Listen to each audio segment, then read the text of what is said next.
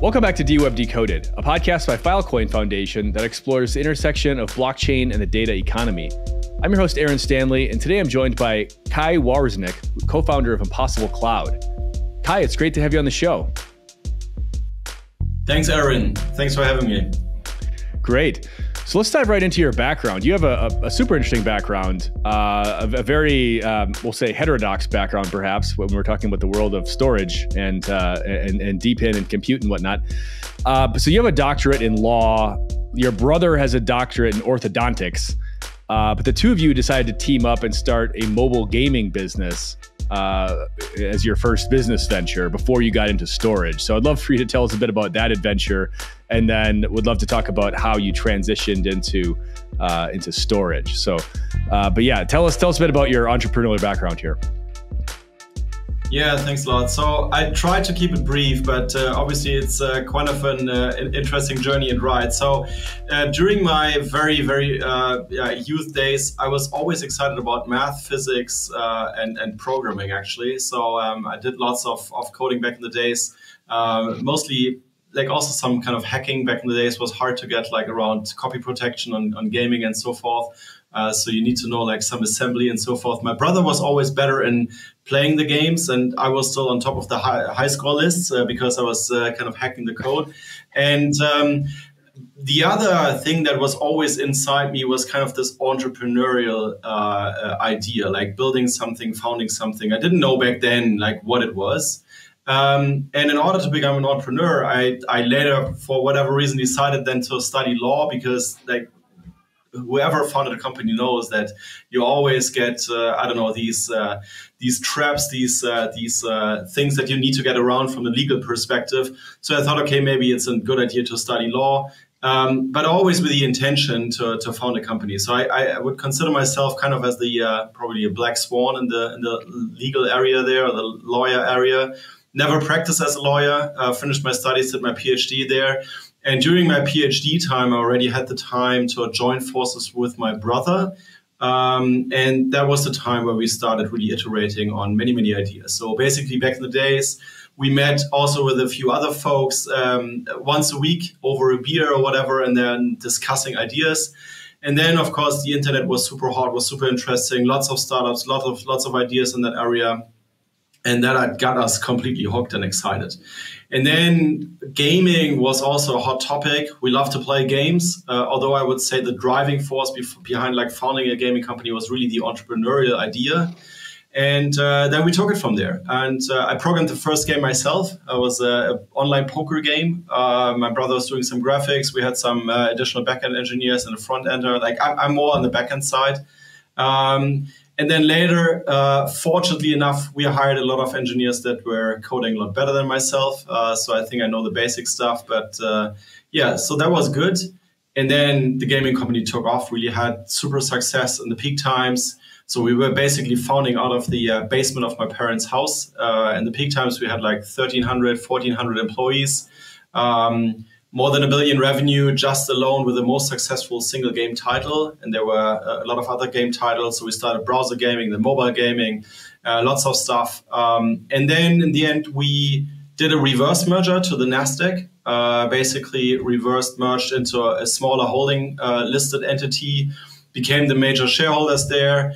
Then it was like three more years uh, in, in the uh, board of the listed entity. We did lots of M&A, so I had lots of capital market experience, listed M&A experience, and so forth. So that was also super interesting. Um, and then you asked me about the transition. So, I mean, after having done games and I've seen so much, like it's really global business. It's a phenomenal business. You do this all around the world. Um, customers, several hundred million customers all around the world. Um, I thought like after 15 years roughly, um, super successful. I've seen a lot. Let's try something else. Let's do something else with more impact uh, and so forth. And that's uh, where kind of the the roots of going into something else and then merging out out of uh, the current business and then uh, a thought process was started kind of and uh, yeah basically then uh, a couple years later we founded impossible cloud got it got it and maybe let's talk a bit about the opportunity that you see in the cloud storage market. Um, there's I mean there's kind of projections all over the place of of what this market's going to be in you know 5 10 15 years. Uh, but I think it's fair to say that this is going to be a, a pretty big pie uh, that I mean it already is big pie but it's going to get bigger. Uh, and it's dominated by a few large players. And uh, it, it, frankly feels like an an industry that needs to be disrupted a bit so maybe uh, just tell us a bit from your vantage point like why did you choose cloud storage as the next as your next venture and like what do you see as the opportunity here um, I, I think I want to go back just one second. Sure. Uh, this dates back a little bit uh, again to my experience doing the gaming company uh, um, uh, company, uh, gaming sites. Um, basically, we had a lot of contact to uh, the big tech players in the valley back in the day. So, especially Google and Facebook, we have been very close to. I met Mark Zuckerberg before. I also had the great chance uh, to, to talk to the uh, former CTO of Facebook. He was discussing with me like how they build data centers in North Sweden and how they optimize all that kind of stuff because uh, they really build everything at massive scale. Uh, Google, same thing, like lots of VP level meetings, so forth in, in Mountain View. And so that was really influential. I would say um, the network that we have built for the gaming company was already pretty massive. Was like thousands of servers all around the world, uh, millions of concurrent users, all this low latency all around the world, what you need. But these companies built everything at uh, at least two orders of magnitude larger.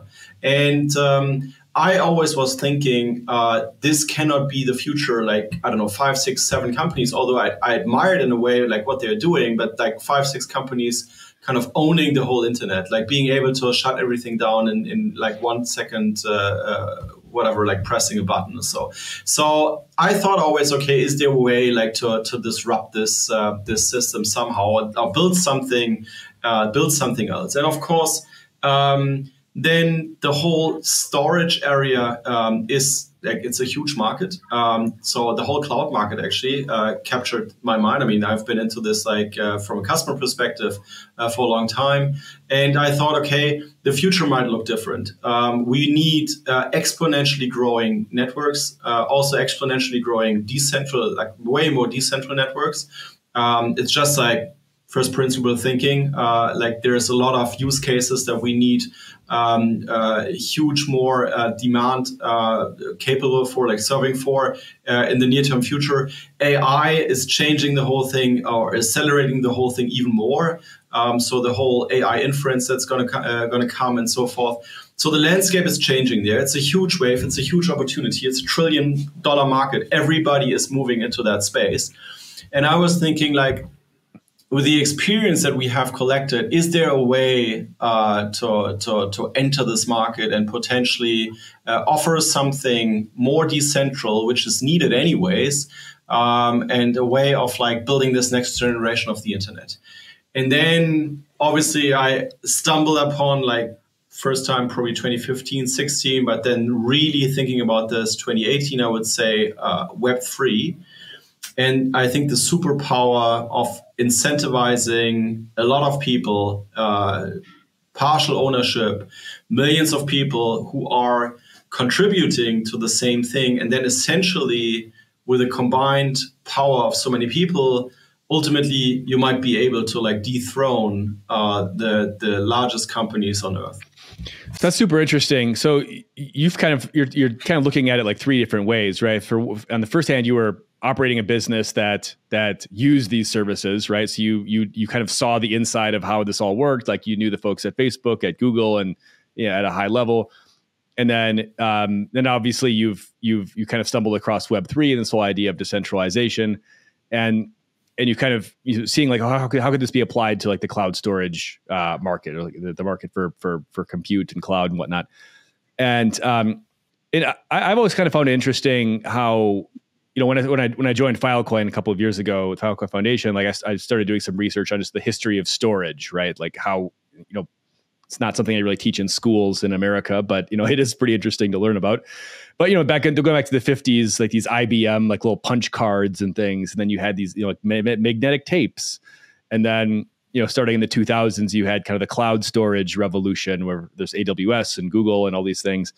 But then over the last twenty years or so, you really haven't had any um, I don't want to say there hasn't been any innovation because there obviously has been, but like there hasn't been the kind of like paradigm shifting new thing in in this particular market, right? There's you know AWS and Google Cloud and Azure. They're all you know improving and doing different things and whatnot, but there hasn't really been like this new fundamentally like novel idea, and and I feel like that's kind of what like what when I looked at like Filecoin, I looked at what like you guys are doing with that possible cloud. I'm like, okay, I feel like this idea of kind of harnessing the you know the decentralized swarm in the ecosystem is essentially how you can take on these kind of big tech players. Uh, whereas a single startup by themselves couldn't just go and take out you know Google or Amazon or something. But like if you have kind of this decentralized swarm, uh, that's where the that's where like the, the paradigm shift is going to come from. Um, anyway, not really a question there, but I would love your rea- your reaction to that.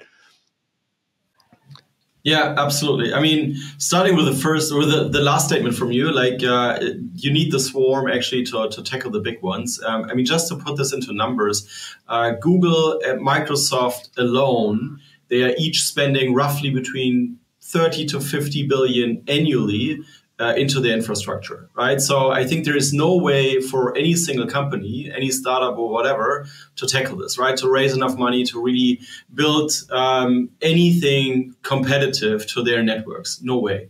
But on the other hand, if you look into what Web3 has already done, it's creating tremendous amounts of hardware networks, basically, uh, worth billions and trillions of dollars. I mean, obviously, Bitcoin being the largest network, I mean, consuming a lot of power. Nobody really knows like uh, how uh, many, um, uh, yeah, where's that going to grow? But if you look into like in terms of compute power and so forth, this is way, way more massive than the whole Amazon and, and, and Google network. And it's done by the crowd, basically. And then you have Ethereum. You have also lots of DePINs. Like Filecoin is massive too, right? So it's it's phenomenal. It's like something that you could not gather as a single company. So I think that's first of all, it's one of the modes that the the big tech players relied on. Basically, if we outspend any competition, nobody can win against us, right? But this is not no longer true with uh, the superpower of Web three. So you just need uh, to build. Uh, uh, some kind of network that is going into the direction of potentially tackling also from the use case tackling the, these guys and then from the hardware perspective, I think you can do it, right? And Web3 has shown this. So I think this is what was so amazing to me um, that finally, ultimately, there is a way of tackling this. And then maybe in terms of like what you mentioned, like evolutionary, um, there is a lot of evolution happen happening right now. And also, I think there is a lot more evolution uh, just in front of us, uh, front of us that has to happen. Um, so if you think about storage, I mean, we started with storage, um, but obviously um, we are not called like Impossible Cloud Storage. We call ourselves Impossible Cloud Network because we want to build like a holistic cloud service. We cannot build this all, all on our own. We will not build all the services on our own. We basically want to build an ecosystem where on the one hand, you have the hardware providers who provide hardware to the network. This can be tier two, tier three data centers providing hard drives, memory, network, uh, compute, GPU, CPU compute, and so forth.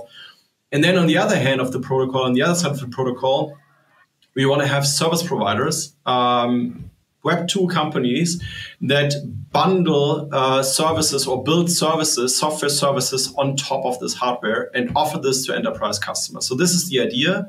Um, and a lot of this evolutionary thing is is needed there. Um, the reason why we started with object storage um, is basically you have this what's called like this data gravity, um, and data gravity meaning uh, or data locality meaning that wherever the data is, it makes a lot of sense from a physical perspective, from an economical perspective, to, to compute the data where the data is being generated, right? So rather move the compute code to the data than the other way around. And um, this is becoming tremendously more uh, important in the future, uh, as you can imagine. Like, it, like an incredible amount of uh, uh data being generated somewhere on the edge, and it doesn't just does not make sense to move all this data all the time to a central data center hub, and then compute it there, and then move it back to the end customer so like the early days CDNs and so forth, you will need much, much more decentral infrastructure. especially for all these AI inference use cases and so forth um, that are just about to come. So the networks that we will need in the future will definitely have to look much more decentral than like what Amazon is providing right now.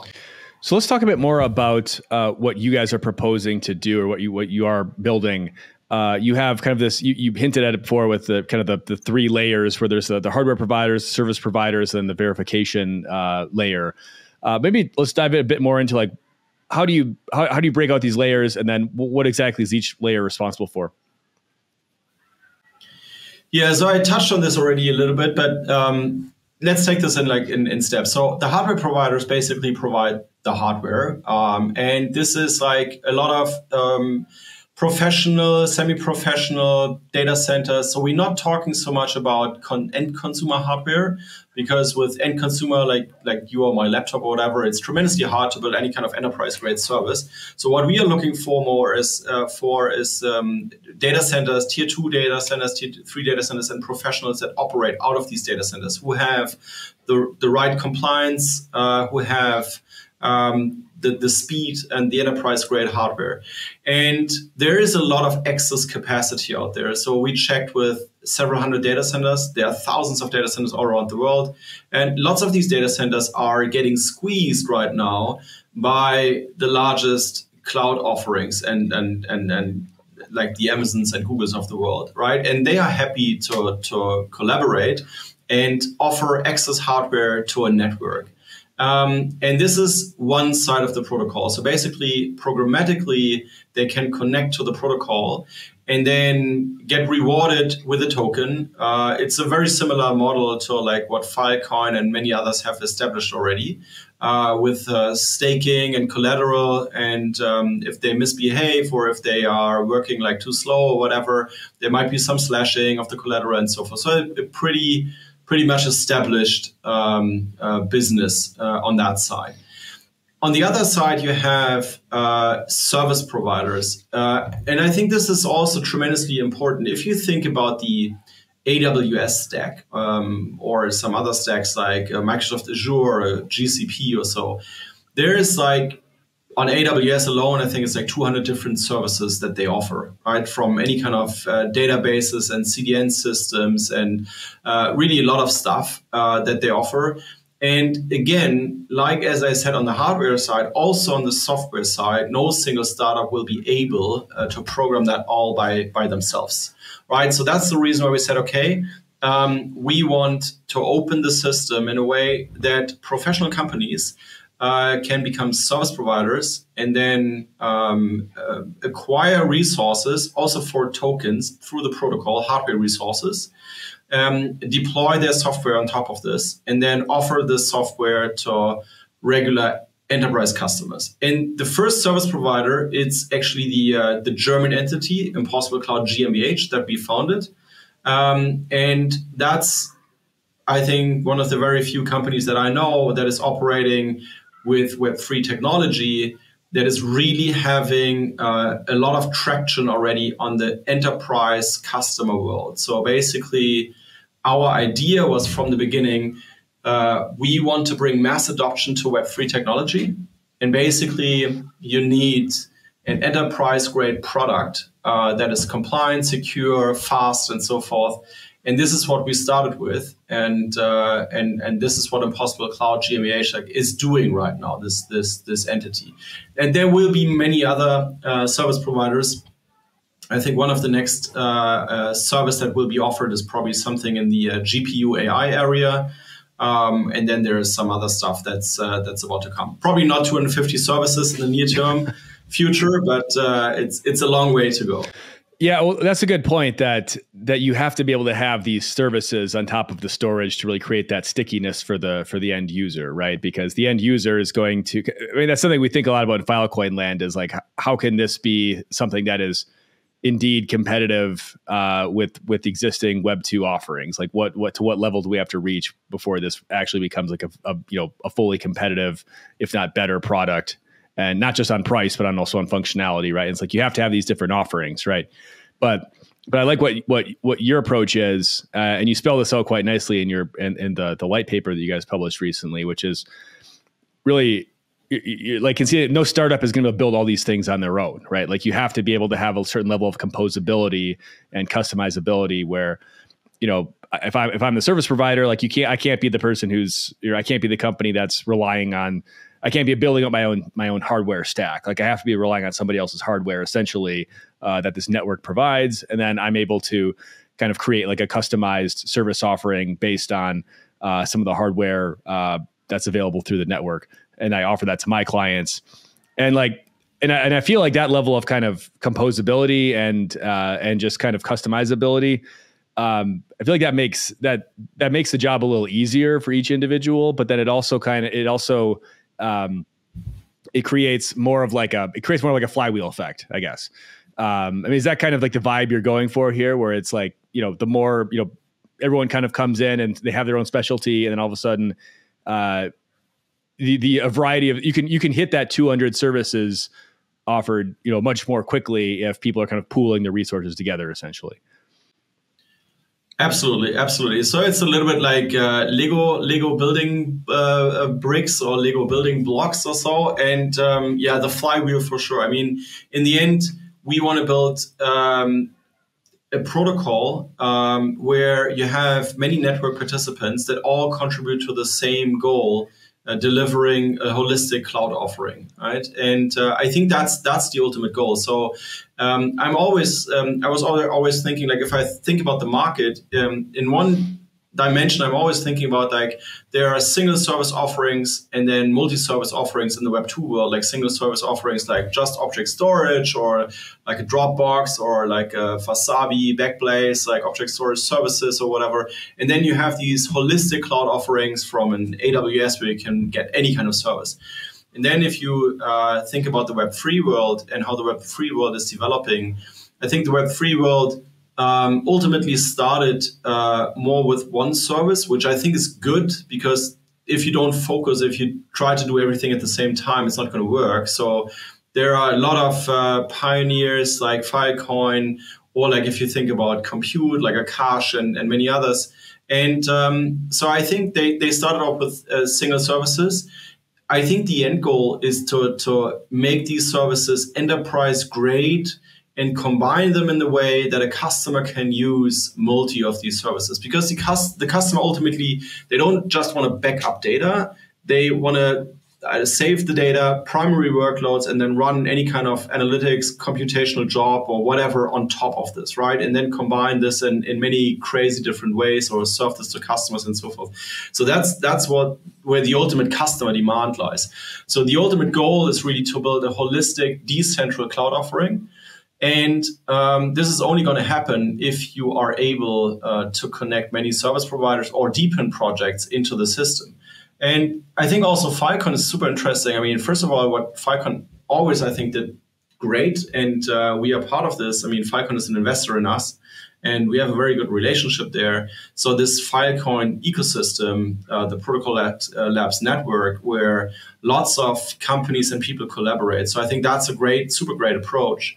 At the same time, I think uh, in terms of offering, um, the Filecoin service in terms of a, a Glacier type of uh, archival backup, I think it's a, it's a great approach, right? So I think there are also there ways of potentially collaborating and and um, that's our idea down the line. I think in order to make this happen, you need a lot of backward compatibility, interoperability. You need to build the right interfaces so that um, these things can kind of plug in together. Um, and this is what we are working on, right? So first we wanted to demonstrate um, the first single vertical slice object storage all the way from enterprise customers that we have right now with all the channel partners. It's a super difficult ecosystem there out there in the, in the Web 2 world. Lots of integrations that we have already, uh, lots of enterprise software that's integrated in our product. And then all this vertical slice down the way through the protocol to the hardware providers running on, uh, on, on external nodes. Um, this is what we have done now. Uh, super excited to, to uh, launch the token in the next few months or so.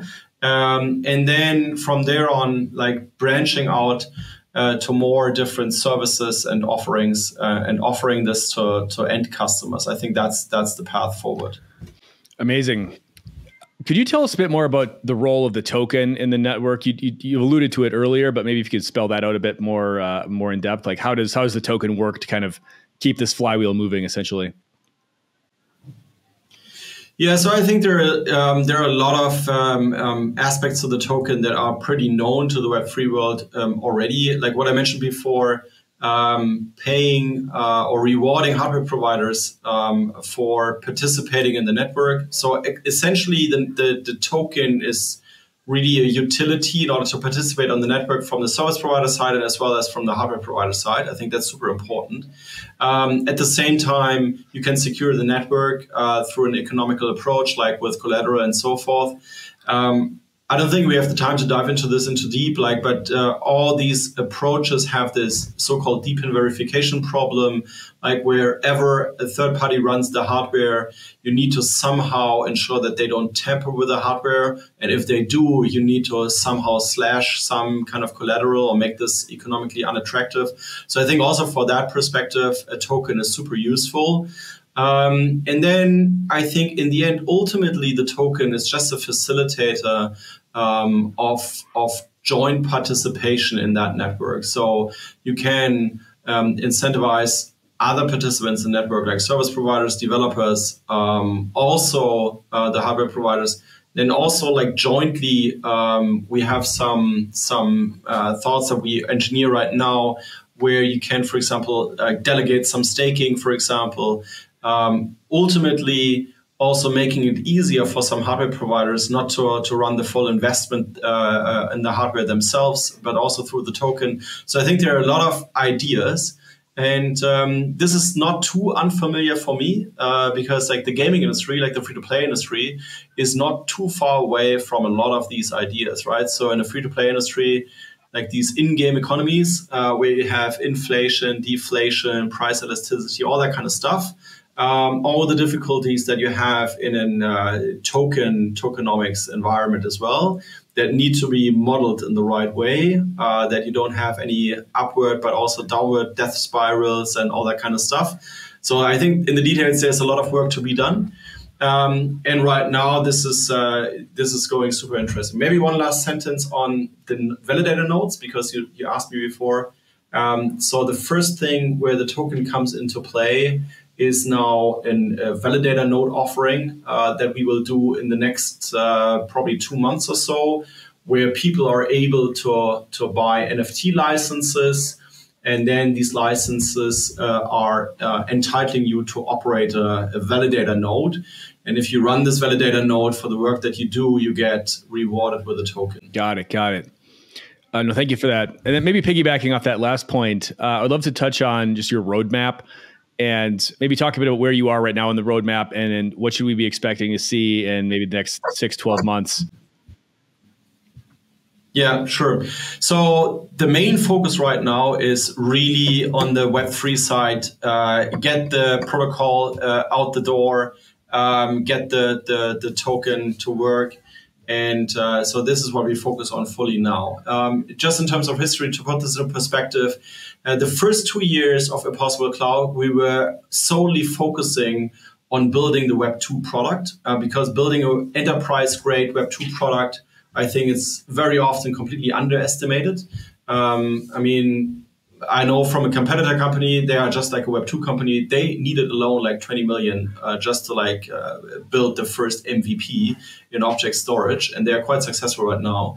And um, so that's around the ballpark what we raised as well as in, in capital. So that's the first two years, and then starting this year, uh, we just started to dive into the Web3 side we onboarded hardware providers. We are in the onboarding phase of uh, more hardware providers are onboarding right now and looking for hardware providers all around the world.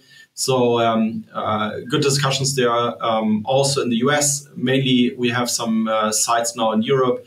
Uh, we will branch this out also to Asia, and um, then like in two months or so, we will have this node offering where people can buy these NFTs um, and then are able to like operate these validator nodes. And then shortly after, we will list the token on an exchange. And that, that I think is like the, the main inflection point. From that point on, um, the validator nodes can start their work.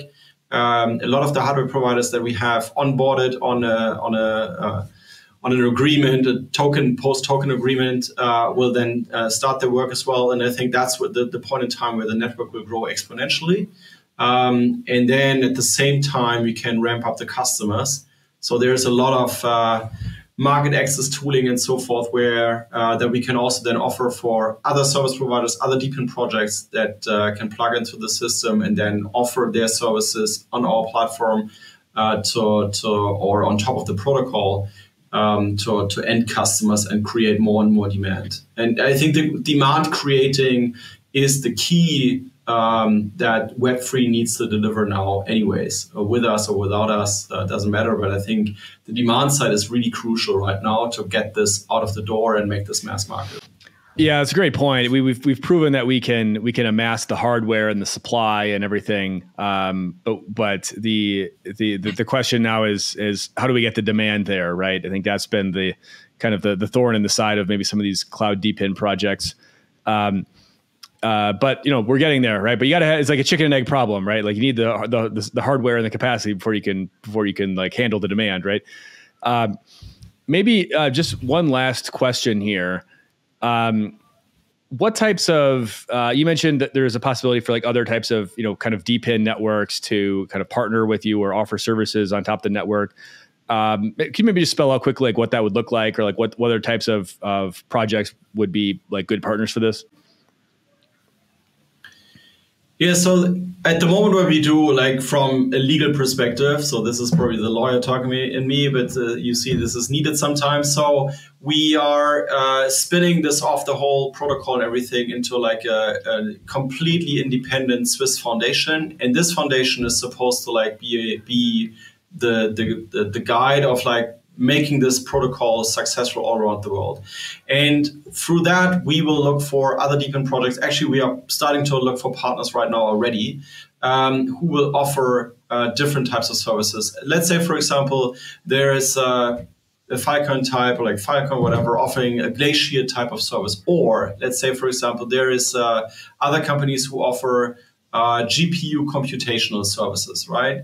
And for all of them, I think what's super interesting is uh, to make their offering uh, open for end customers, right? So, and I think we have a smart way of how they can integrate into the protocol um, and then also mutually benefit. Like usually, most of these projects have their own token, so we need to find a way, and we have some good ideas on how to do this. Uh, we need to find a way where their token economy is is uh, it's, it's it's appreciating uh, as as our as our token is appreciating as well in value. And what we can offer, of course, is uh, then access to, to end customers and demand. And we have a lot of end customers that store data already uh, through the nodes that we run. And of course, there is a high request and demand of running additional services on top of this. Right? Either it might be at an even cheaper price to have like, I don't know, long archival storage, or it might be you want to have uh, some computation on top of the data. So I think there is uh, there's a lot of request and demand. Um, I think we just need to take this in steps and really decide on like step by step uh, what are the right uh, next DePIN and service providers that we want to uh, onboard into the system. I think ultimately in the long run, probably the, we can open up the protocol more to a, to a trustless uh, thing. But I think in the beginning it will be probably more step by step partnerships uh, and integrations, uh, and, and then we can let it go. Got it. Got it. Well, hey, Kai, we're out of time now, but really appreciate you coming on the show. Uh, this has been super interesting learning about what you guys are building with Impossible Cloud Network. Uh, very exciting work. Uh, wishing you all the best of success in the next, uh, the coming months here. Sounds like you have a lot on the roadmap uh, a lot on your plate. So really appreciate you taking the time to uh, to come and talk to us and tell us about the project. Uh, would like to turn it back to you for any final thoughts and how can folks get in touch or uh, where should they go if they want to learn more? Yeah, sure. Th- thanks, Aaron, for having me. And uh, anybody who wants to get informed, like uh, follow us on X or follow us on, on, on, Discord. There's all the latest news, especially also about the node offering, which I think is the most exciting part now, being part of this before the, the listing of the token. Um, and uh, yeah, just uh, keep in touch uh, or reach out to me. Uh, I'm also on, on, on X or old school LinkedIn, whatever you prefer. Amazing. Well, Kai, thank you so much for your time today. And thanks to everyone for watching or listening. And we will see you next time on DWeb Decoded. Thanks, Aaron. Take care.